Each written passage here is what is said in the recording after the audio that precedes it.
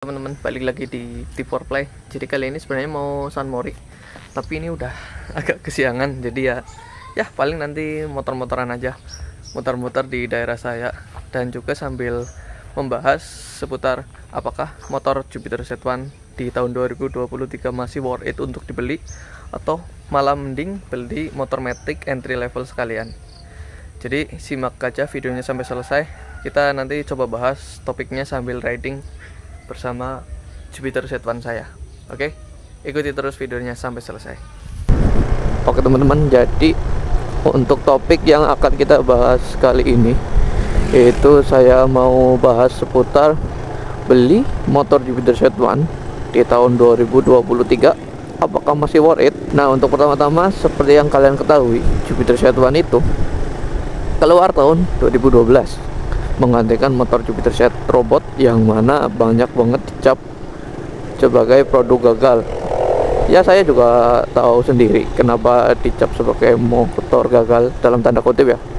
Tapi itu mungkin akan saya bahas di topik yang terpisah. Saya kita kita saat ini fokus ke pembahasan Jupiter Set1 di tahun ini tahun 2023 ya. Nah karena motor ini keluar tahun 2012 dan juga ini sudah pakai full injeksi. Ya dan juga dari tahun tersebut itu motor ini nggak pernah ada perubahan selain dari strippingnya untuk masalah bentuk dan juga e, tenaga itu sama mesin pun sama ya teman-teman. Paling hanya yang berbeda itu di kode dari blok mesinnya itu ada sedikit yang berbeda. Di do, di Jupiter Z1 kayak motor saya yang kode 1DY itu bloknya pakai kode 1DY yang mana itu dari tahun 2012 sampai 2016 atau 15 saya lupa. Terus ada Jupiter Z1 uh, 2 SU ya yang 2016 sampai 2020 kalau nggak salah. Dan yang paling terakhir itu Jupiter Z1 2 PV kalau nggak salah deh. Pokoknya yang paling terakhir ini kodenya agak beda tapi sebenarnya secara performa itu sama. Jadi untuk pembahasannya saya mulai dari kelebihan dan kekurangannya. Namun saya nggak akan jelaskan secara rinci kelebihan ataupun kekurangannya karena sudah pernah saya buat videonya itu ada di sebelah sini. Kayak gitu. Kalian bisa simak aja video tersebut. Yang mana itu benar-benar nggak nyangka bisa nyampe 25.000 view ya. Padahal itu video ngasal loh jadi motor ini tuh meskipun 115 cc tenaganya cukup lumayan ada di 9,9 horsepower yang mana itu lebih gede ketimbang Supra X125 yang cc nya itu 125 cc. Lalu juga uh, di bagian bagasinya untuk ukuran motor bebek ini lumayan. Yang mana masih muat dua setel baju ya uh, dua setel jas hujan dan juga masih bisa masuk satu box uh, tempat makan kayak gitu. Jadi memang boxnya itu lumayan luas. Sebenarnya mirip kayak punya Revo tapi kalau punya Revo itu bagian bawahnya nggak datar. Jadi kalau dimasukin barang yang sama ya masih tetap banyak masuk yang Jupiter setan ini. Lalu yang saya suka lagi sebenarnya di bagian bodi depannya bodi depannya itu desainnya cakep coy kalau bagi, dari bagian depan itu ya. Karena ini motor improvisasinya dari Jupiter Set robot. Jadi memang kalau menurut saya pribadi itu motor ini masih enak banget dipandang kayak gitu ya. Padahal ya 10 tahun bener-bener nggak pernah ganti desain loh. Bener-bener awet banget kayak diformalin lah pokoknya ini motor bebek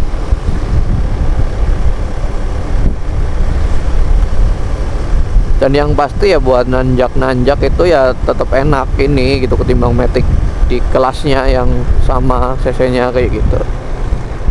Lalu juga joknya empuk cuy. Khas Yamaha lah pokoknya. Kalau kekurangannya sih yang pasti itu biasanya desain motor ini tuh nggak semua orang suka. Apalagi di buritan belakang di lampu belakangnya itu banyak orang yang nggak suka termasuk saya sendiri pun sebenarnya nggak terlalu suka loh. Namun ya memang apa saya dulu beli ini karena irit sih. Oh ya jangan juga ngomong-ngomong irit ya karena ini kan motornya itu injeksi. Tapi sistem injeksinya itu benar-benar bandel loh. Ini motor saya udah 11 tahun masih bandel nggak pernah rewel sistem injeksinya. Dari ECU injektor ataupun throttle body itu masih aman memang salah satu motor injeksi Yamaha paling bandel ya yang Jupiter Z1 ini. Dan kekurangannya itu lagi di bagian komsetir itu gampang banget kena. Kalau teman-teman rumahnya di jalanan yang rusak gitu ya pasti kalau kalian pakai motor kayak gini pasti ya teman-teman sering banget apa ngencengin bautnya ya ataupun nyetel ulang di bagian konstirnya kayak gitu. Jadi kalau teman-teman mau beli motor Jupiter seperti ini ya paling disesuaikan aja sama penggunaan kalian. Nah kalau teman-teman hidupnya itu di kota-kota besar yang mana macet lalu jarang ada jalanan kosong gitu ya ya mungkin di beberapa orang lebih prefer beli motor metik karena kan tinggal ngegas kayak gitu ya. Dan juga otomatis kan nggak terlalu cap. Lalu untuk masalah tenaga motor ini ya. Kan motornya itu 115 cc. Jadi untuk disamakan dengan Matic di kelasnya kayak macam Beat yang 110 ya kalau nggak salah. Ataupun Vario 125 itu tenaganya itu masih lumayan motor Jupiter Z1 ini. Jadi ya monggo kalian bisa apa pertimbangkan kalau teman-teman beli motor Jupiter Z1 kayak gini kayak gitu.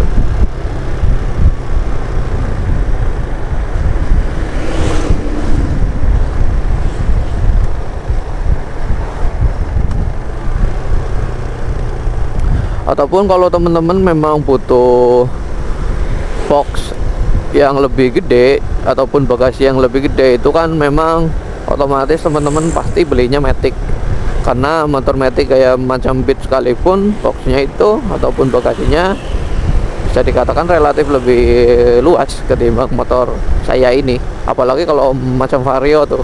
Kalau Vario tuh kan lebar banget ya bisa muat helm. Kalau motor ini kan enggak kayak gitu. Siapa tahu teman-teman butuh bagasi yang lebih luas mungkin buat bawa barang-barang ya kalian mending beli aja Matic lalu karena kan motor ini di daerah Jawa itu nggak terlalu populer dan nggak terlalu laku ya. Biasanya kan orang itu beli motor yang rame kayak temen-temen gitu yang pakai ya. Jadi ya pasti nggak bakal beli motor ini sih. Jadi kalau pengen menyesuaikan ke teman-teman ya mending beli Matic aja. Apalagi kayak motor Vario itu di daerah Jawa kayak di sini nih di kota saya di Cilacap itu kan banyak banget yang pakai Vario. Jadi biar serasi gitu ya mending beli Vario ataupun Pita aja dan Aerox tentu saja ya.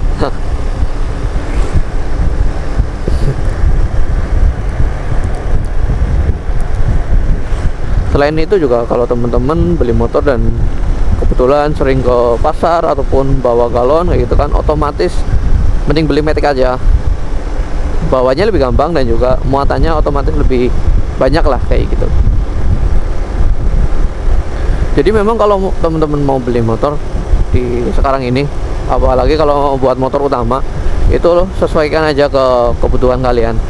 Kalau saya sih pakai motor ini memang benar-benar cukup buat bawa kotak makan kayak gitu ya dan juga beberapa style jas hujan itu masih muat. Dan juga saya jarang banget bawa-bawa barang banyak.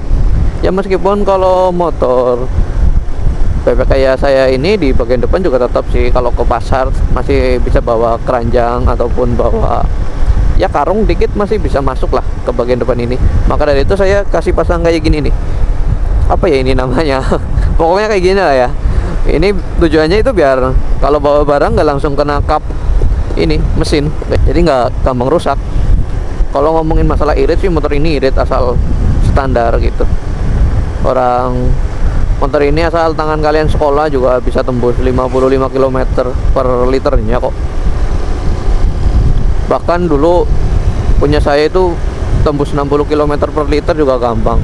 Orang pas punya saya baru di power up sampai 125 cc ya. Dengan kompresi standar pun itu masih bisa tembus 51 km per liter. Dulu pakai pengetesan full to full.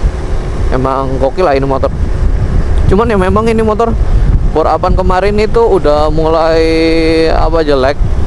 Karena seal clapnya itu udah bocor. Nggak tahu sih mungkin Por Apannya masih oke okay, tapi seal clapnya bocor. Maka dari itu motor ini udah vampir. Udah apa ya orinya nyusut gitu loh. Berkurang. Yang harusnya biasanya kalau motor ini waktu masih standar itu umpama diisi 800 ml kalau udah 2000 km mungkin nyusutnya paling cuma 100 mili kayak gitu. Nah kalau yang sekarang ini aduh parah banget. Maka dari itu saya memang lagi benar-benar butuh dana buat ngebenerin motor ini. Ya maklum sih ini motor memang motor capek. Jadi kemarin bor apanya agak kurang bagus kayak gitu. Mungkin bukan bor apanya sih kalau simpulan saya lebih ke apa? Di bagian seal clapnya yang kalah sih. Karena kemarin saya pernah bongkar sekali di bagian businya. Itu businya kotor banget hitam. Dan hitamnya itu bukan hitam karbon ya. Pokoknya kayak ada bekas oli kayak gitu yang udah agak kering. Maka dari itu saya ini pengen Sunmori dan memang sebenarnya diajak ke Purbalingga sama temen tapi ya nggak ikut karena takut sih motor ini udah nggak sehat paling bulan depan coba dibongkar lah di bagian mesinnya. Mau ngomong ini sebenarnya udah agak siang udah sekitar jam 8 lebih mungkin. Tapi memang cuacanya dingin sih karena ini udah kemarau Shit.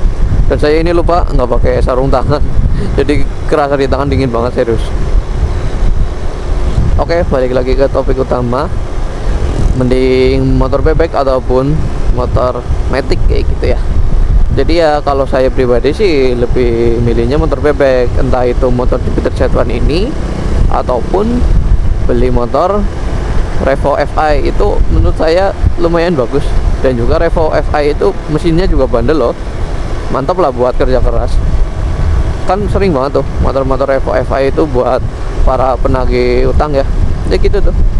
Memang mesinnya bandel tuh Honda Revo saya juga pengen sih kalau ada rezeki pengen beli satu buat di review kayak gitu. Karena ya saya nggak terlalu suka metiknya itu kalau pakai metik naik motornya itu bosen gitu loh. Terlalu monoton karena cuma ngegas doang nggak ada ngoper gigi ataupun main kupling. Maka dari itu ya motor saya ini ditambahin kupling manual. Padahal beberapa orang ya yang dari motor kopling manual pindah ke matic semua karena mungkin capek atau sebagainya lah alasannya. Nah kalau saya pribadi ini beda. Karena saya itu kalau naik motor itu apa ya dirasa feelnya gitu ya. Experience-nya kayak gitu. Karena lebih enak pakai motor manual sih. Karena pakai motor sport kan nggak mampu belinya. Jadi ya pakai motor ini di modif kopling manual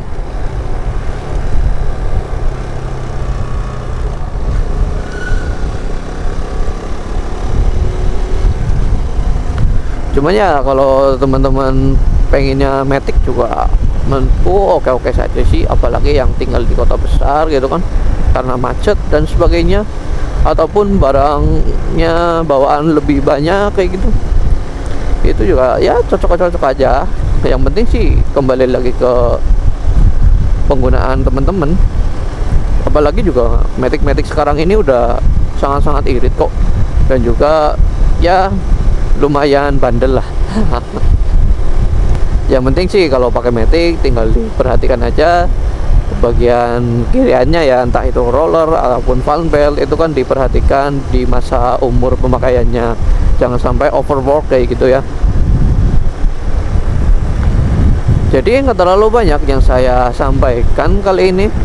Paling hanya topik-topik receh macam itulah. Kalau teman-teman ada masukan ataupun tambahan kiranya penjelasan saya kurang itu ya teman-teman bisa tambahin aja di kolom komentar. Dan untuk kelebihan dan kekurangan motor saya itu sudah pernah saya bahas di video yang 8 bulan lalu. Kalian bisa cek aja di akhir video ataupun di card ini ya. Nanti saya kasih linknya kayak gitu. Nah silakan nanti kalian uh, tonton langsung sendiri. Oke ya sekian video dari saya. Jangan lupa klik like dan subscribe. Lalu terima kasih